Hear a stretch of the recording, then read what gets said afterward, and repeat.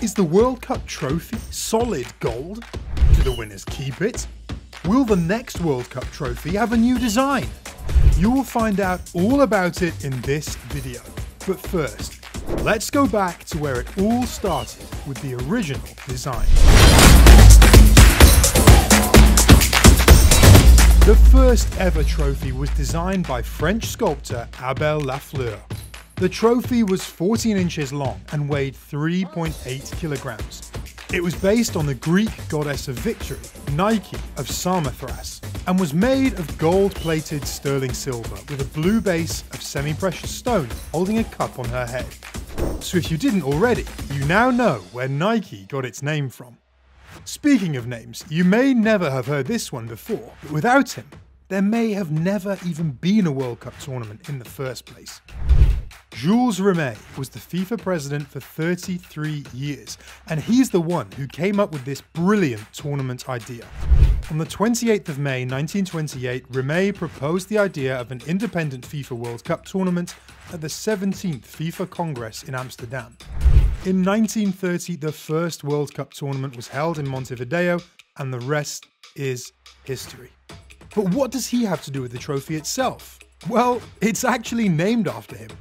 That's why it was called the Jules Rimet Trophy. But a few years after the first tournament, something happened that almost ended the World Cup for good. It was actually only nine years after the first ever World Cup. I think we all know what happened in 1939, right? If you don't, you were probably like me and didn't listen to anything being said at school, but come on, this is important. It's the start of World War II. The war wreaked havoc on absolutely everything in the world, especially the World Cup. The tournament was suspended for years and years while the war was going on. Germany hadn't won the World Cup yet, but the Nazis wanted to get their hands on the trophy and weren't ready to put up a fight on the field. So they just decided to go and grab it. The trophy was being kept in the vault of a Roman bank, but obviously it wasn't safe anymore. So Ottorino Barassi, who was the FIFA president at the time, went to go get the trophy. Now, you would think that he'd hide it in a brilliant, very well secured place with 24 hour surveillance, right? Well, Ottorino had other ideas and decided to hide it in a shoebox under his bed until the war was over. Very smart, if you ask me. Who in the world would think to look there?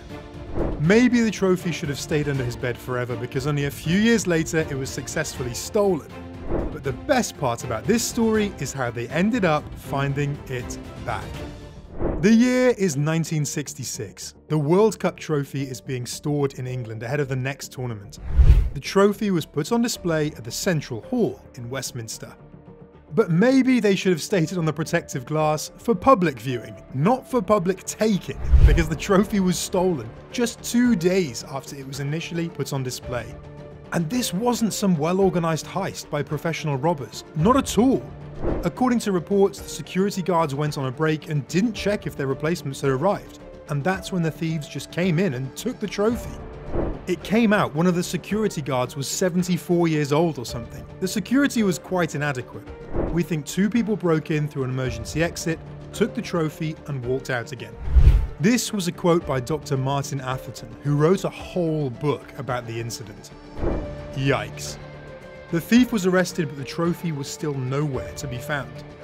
Until one man, called David Corbett, decided to take his dog, Pickles, on a walk one evening.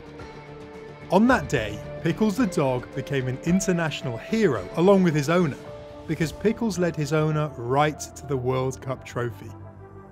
Yes, some random dog named Pickles found it before the police. Embarrassing!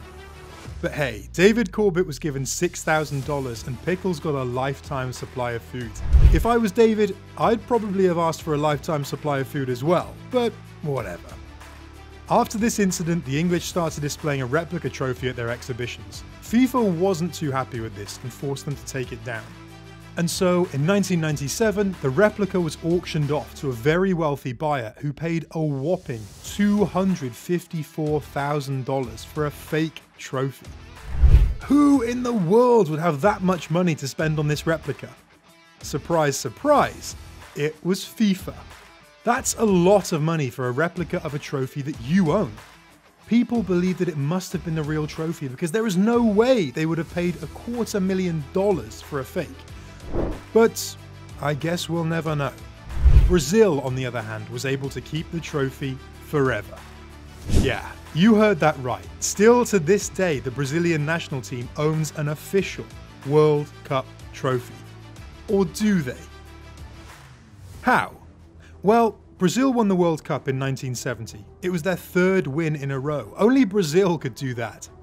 And Jules Rimet had made it a rule back in 1930 that a country that wins three consecutive tournaments would get to keep the trophy forever.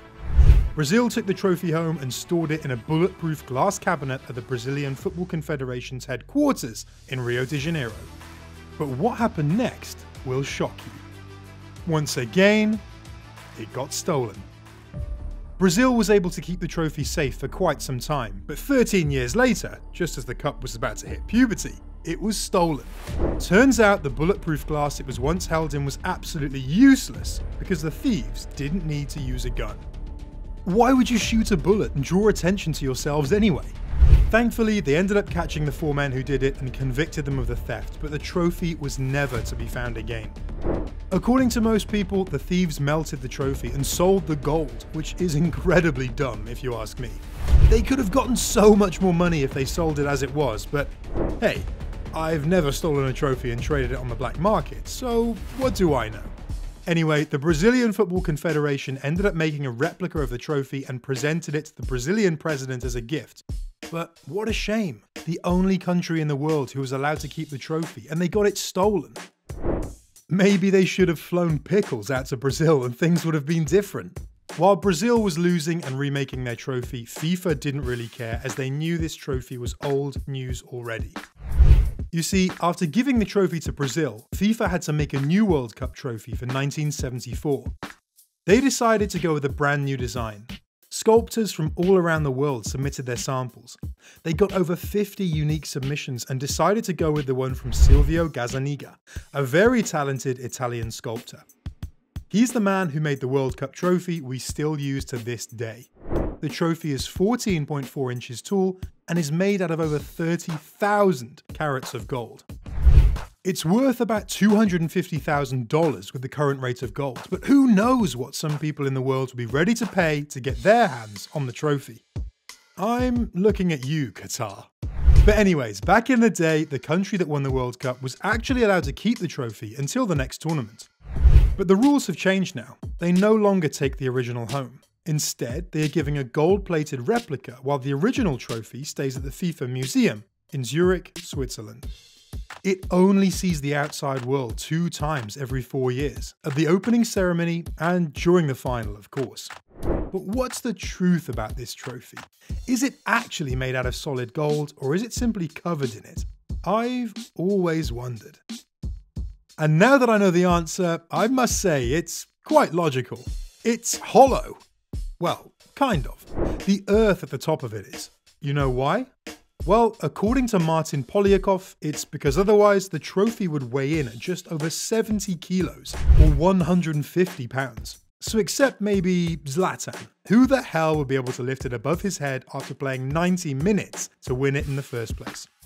Also, why would they waste so much gold to make the entire planet solid when they could just make it hollow and save a shit ton of money? Especially since this may be the very last World Cup where we see this trophy. Yes, you heard that right. This trophy is about to be gone in a few years, and I doubt you'll be able to predict why they're looking to change it. The current trophy has been used for about 48 years now, but age isn't even really the problem. The main reason is because of the base of the trophy. You see, every time a team wins the trophy, their names and the year they won are inscribed on the base of the original trophy. Sure, this is a great idea. It adds a lot of character to the trophy, but the problem is, there is not much space left. So who knows when they're going to present the new design, but they better hurry, otherwise they'll probably have to use a Sharpie to write the winner's name. To be honest, I'd find it hilarious, but it doesn't really fit FIFA's style now, does it? Thanks for watching guys, and watch this video on screen now. I picked it out just for you.